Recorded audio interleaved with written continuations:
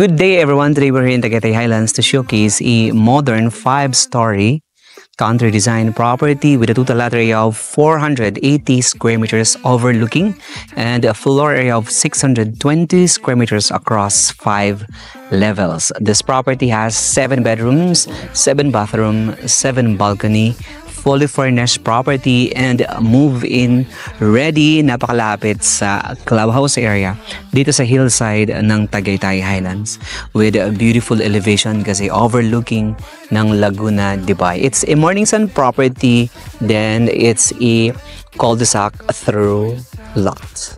So this property is selling in the market for 78 million pesos if you are interested or anyone interested to check out and buy a luxurious property dito sa Tagaytay Highlands, contact us today on the numbers visible on the screen. Right? So let's start the house tour from the meets and the bound, of course, the physical appearance plus the inclusions. So, so this property, bago i-turn over with a makeover by the seller. Alright, so we'll start the also from this point. Okay, so right here you have several pine trees. So this is the frontage, so long frontage. Ang ganda ng design. Of course, yung roof niyan is uh, metal stone. Oh, beautiful uh, metal stone roofings. Of course, you have seven balconies with a tempered glass. You have greens and then long balcony with uh, several lights fixtures. Then right there, yun yung end ng kabilang side. So you have several pine trees again. Para ka nasa Switzerland. Di ba, Benji? Yes. Okay. And then of course, you have the golf area, guys. So it's a selling house and lot. So you have steps over here. You have the green. And then I have a long balcony.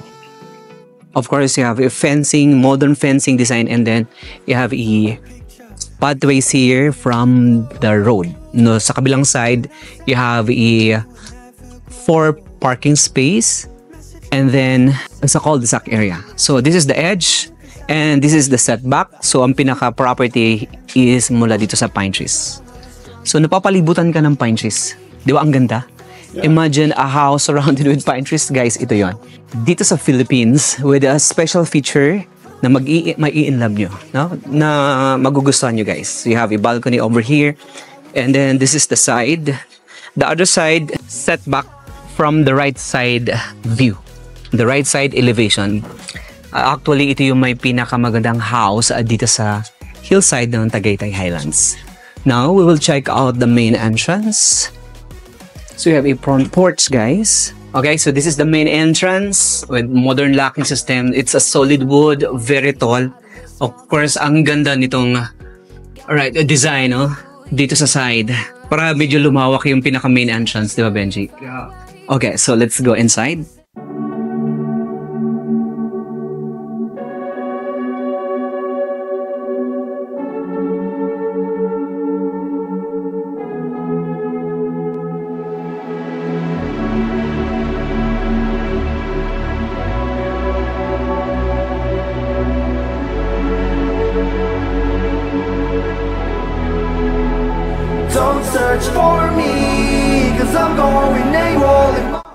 So upon entering, so you have two access, no? Yung first access, and then uh, dito sa cul-de-sac area, you have i-access again, diretso sa the dirty kitchen and then the driver's staff room. Okay, so uh, over to my right side, you have a modern kitchen, right? So you have kitchen. By the way, guys, no, may makeover ito bago ang turnover. So you have seating area, so anything see stays with makeover. So you have counter, you have big window, you have the induction, of course, you have the island counter, the breakfast nook, and then you have the range hood. You have oven, storage, ang laki ng kitchen. By the way, guys, itong property na to na feature to siya sa magazine. And then right there, you have a formal dining area with the access all the way to the balcony. Look at that. Right, so as you can see, it's spacious. Ang ganda ng design. Of course, over here you have a seating and your living space. You have a center table. Of course, you have a ceiling fan. Then you have a sliding door with a screen. So lahat ng kanilang ah, balcony and then the windows with screen. Then you have a balcony over here with the view of the lake Laguna Dibay area. And then this is the cul-de-sac side.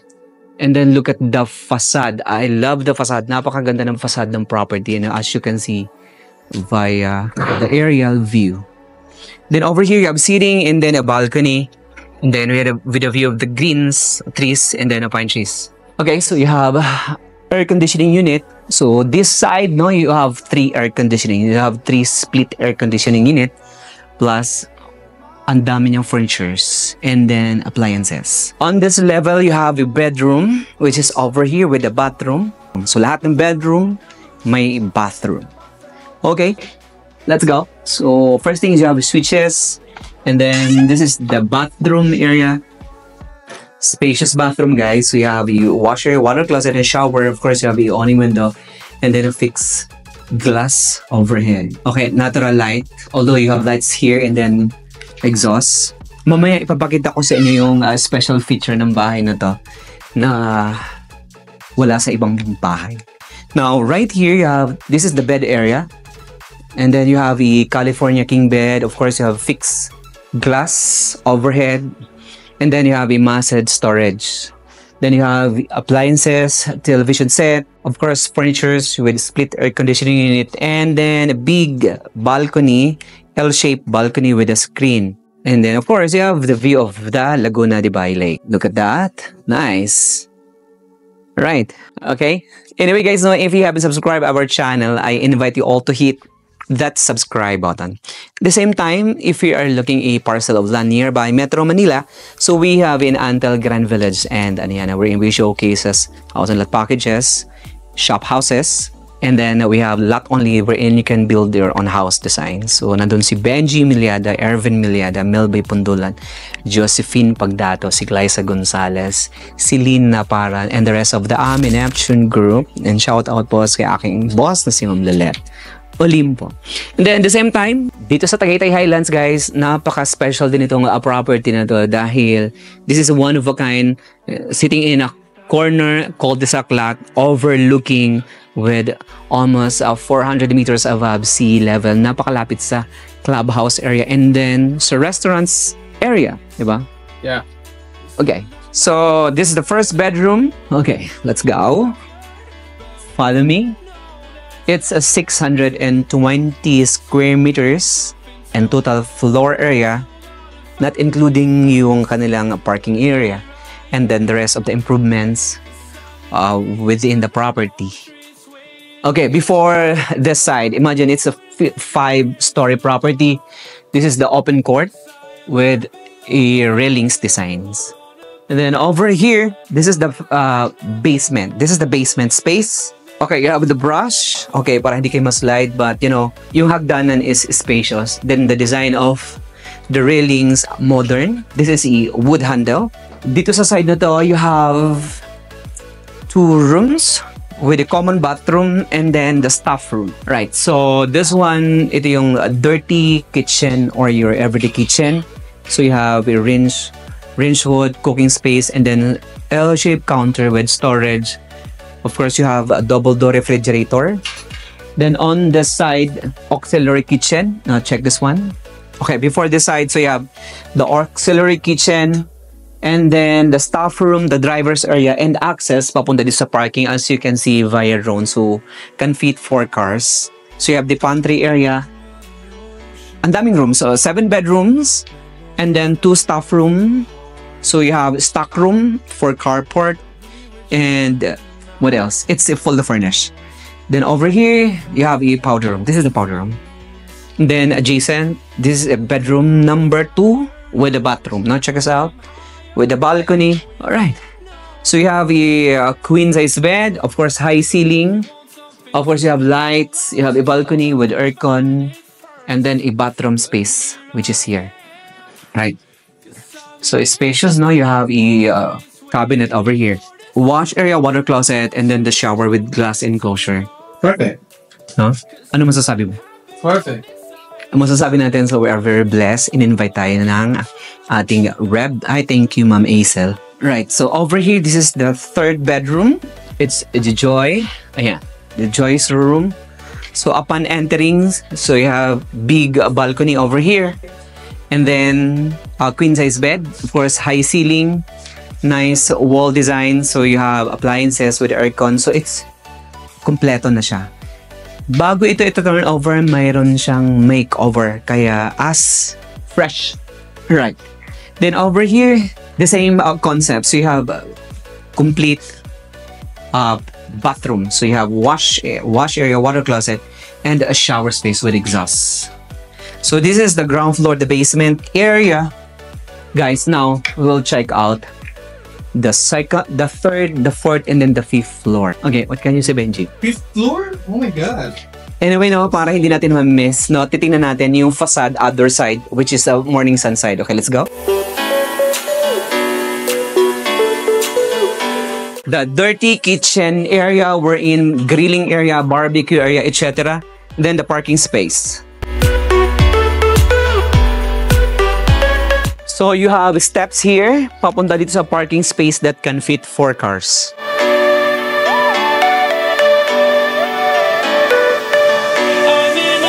And uh, this is the cul-de-sac side, guys.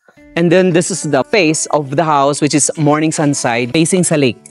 Look. Diba? Super nice. What can you say, guys? Very nice. Ha? Sobrang nice, oh. Look, oh.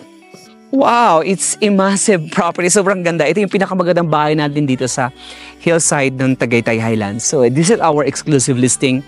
And then, uh, thank you so much to the seller, of course, for allowing us to showcase the uh, real estate in the market. Again, this one is selling for 78 million pesos. It's a Torrens title and a fee simple, the highest form of ownership. Now, we will check out the third level. Let's go. All right, so uh, itong side na to is designed for uh, elevator. In the event, meron tayong uh, client na elderly na gusto magpalagay ng elevator. So this open area hanggang fifth floor is designed for uh, elevator as per the architects and the builder. And right now, it's open, but for future use, pwede siyang lagyan ng elevator. What do you think? Yeah. Na?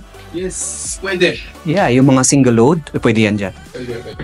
Then, I love the fixed windows, the big uh, windows. Of course, the interior design. So, so para to prove, itong property na to makikita nyo siya sa magazine.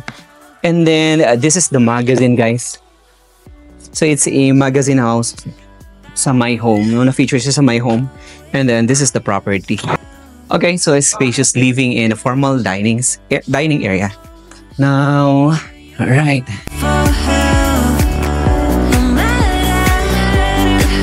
Right, so this is the third level. Okay, this is the fourth level, uh, fourth floor, right? First, second, third. This is the third. Okay, so right here you have three bedrooms with its common toilet and bath. You have a family area, of course, fixed window. Okay, to give you the highlight later on, no, medyo, medyo mas maganda doon sa side na yan. Okay, so we'll check out the bedroom which is over here. So upon entering, the same. Yung concept ng kanilang pinto, ganito. So all throughout, main door and then doors sa mga bedrooms, the same. Then you have a storage, you have a balcony, then you have a bathroom, you have a bed which is already yours, so it stays. Okay, so right here, as per the architect, uh, luxury yung design ng house, even yung kanilang uh, mga windows, no, seems like this. Imagine you have a built-in curtains. So lahat ng bedroom, lahat ng uh, windows sa bedrooms. Okay, so 'di ba? Napakaganda, look. Oh. Imagine gusto mo wala kang view from the outside. Yan. Something like that. The same time, you have a other access pa, which is pwede sa swing door. Look. Plus, you have a fixed glass overhead, then drapes. Wow, nice. What can you see, guys? So, lahat ng bedrooms ganon. Then you have air conditioning unit, of course, nice ceiling design. So, you have a bathroom space here. Right, so kompleto. So, lahat ng bathroom, so you have a fixed glass with the awning window. Of course, you have a uh, lights and then the exhaust. Okay, modern counter, So it's a floating counter design with a wash area, water closet with bidet. Then right here, storage area and access sa front balcony. Okay. Yung flooring natin, wood. Nice. So, uh, it's a uh, Canadian wood. Wow. Yeah, as per the, the architects. Then, uh, right here, there, so nice ceiling design. Of course, you have nice, beautiful view. Then, again, the bedroom. Okay, excuse lang muna sa mga gamit guys. So, you have a king-size bed. Of course, you have your bathroom with a shower. Alright, so, gagamitin nyo na lang. Then, you have a full view here. This is the balcony with a screen. Okay. And then this is, so this is a sliding door the same time. Alright, oh. See, guys. So, medyo nag na guys. Alright. So, you have a view here ng Laguna Bay. Wow. See? This is the wall. And this is the view. So, napakatahimik. So, you have a mountain view, you have the lake view, and then yung kapitbahay mo ay metal stone roofings. And then, look at the neighborhood, guys. Look at that. Yung mga bahay na sa mountains. Yung mga brand new houses. And then the other side is the Gulf area, the Midlands area. This is the hillside. Alright, over here. Wow. So the first, the second, third, fourth, and then the fifth level property. Guys, no? What can you say? Sobrang nice. Okay, so tingnan natin the master bedroom. As you can see, yung ibang mga rooms, talaga namang uh, well uh, thought, well designed with a masterpiece. At the same time, meron siyang uh, may, meron siyang something uh, uh, feature na mai-in love ka sa bawat room. May mga kwento siya sa bawat mga rooms. Now, over here, so you have the altar area. And this is the master bedroom area. So upon entering sa master bedroom, it, this is more spacious. So you have furnitures, you have a California king bed, nice base headboard design. Of course, you have fixed glass that brings more lights. You have a balcony over here with a screen and of course a full view. Then you have a balcony over there and a entertainment area and then the balcony. Balcony, entertainment, then seating area. Imagine the master bedroom.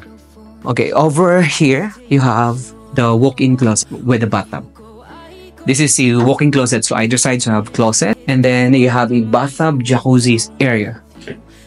Okay, you have jacuzzi, you have water closet, the shower, and then the wash area. It's spacious.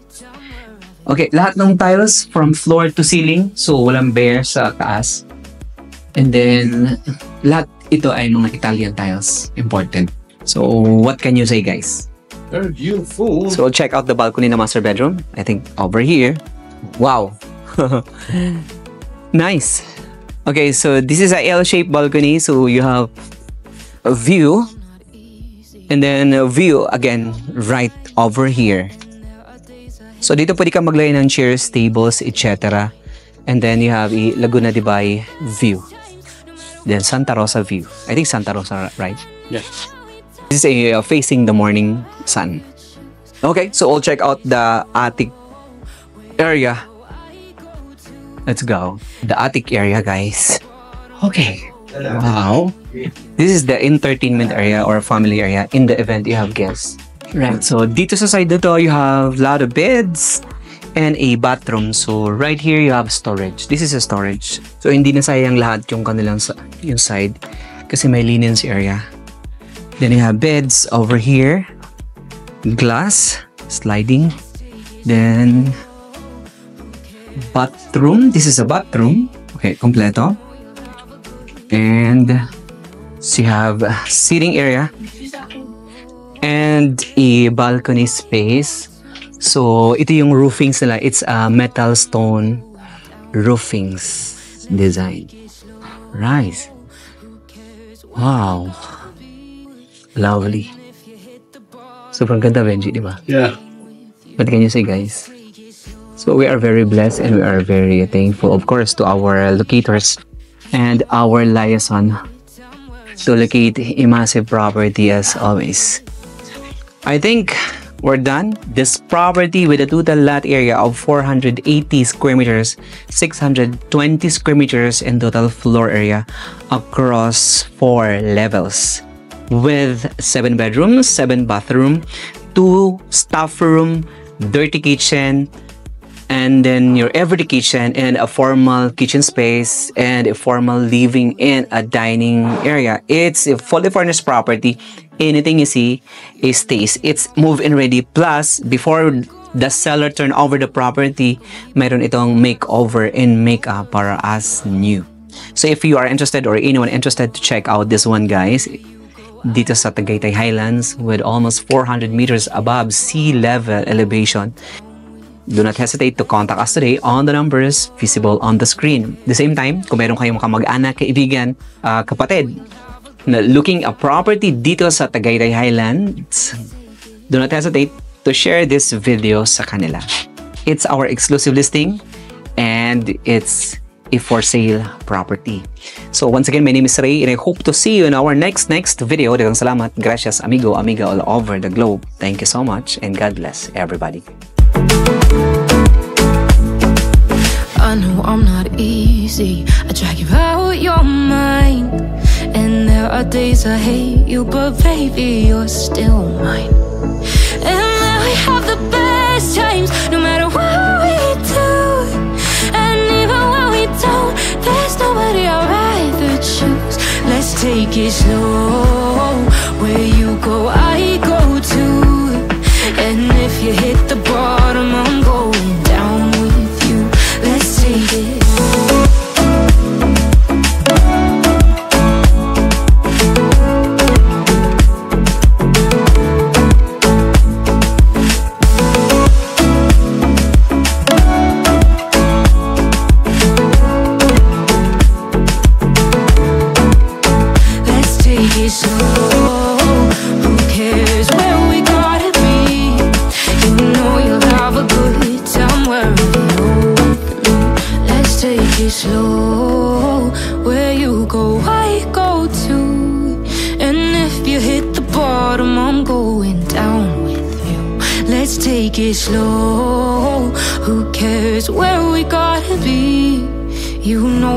have a good time wherever you're.